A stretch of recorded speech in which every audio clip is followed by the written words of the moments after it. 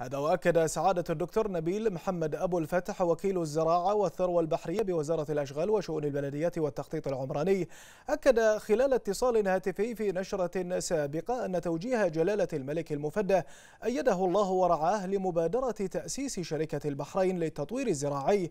جاءت في سبيل تحقيق الأمن الغذائي حيث تعد إحدى الخطوات المهمة لتنفيذ الاستراتيجية الوطنية للأمن الغذائي.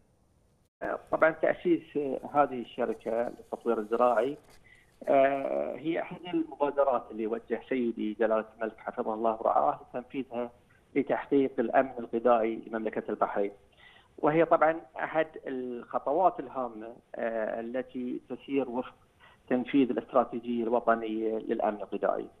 آه، والتي من شأنها تعزيز البيئة التحتية والبنية التحتية لهذه الصناعة وتطوير العمل بما يسهم في المضي قدما آه، تجاه تنفيذ المبادرات وخلق بنية استثمارية خاصه لجميع القطاعات بما فيه القطاعات الخاصة والأهلية.